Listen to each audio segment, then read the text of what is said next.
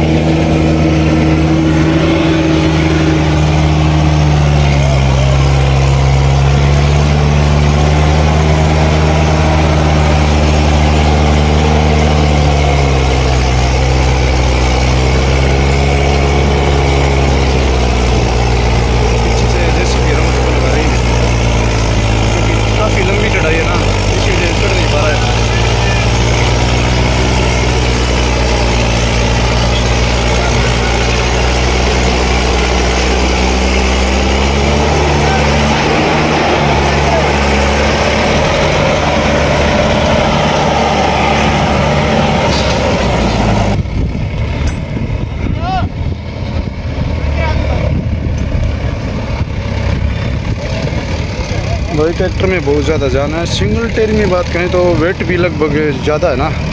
एक सौ डेढ़ सौ कुंटल की यार बार अभी लमसम। ड्राइवर बोला कि दौर कैसा लगा मेरा ट्रैक्टर? बहुत बढ़िया दौर लगा भाई तेरा ट्रैक्टर का।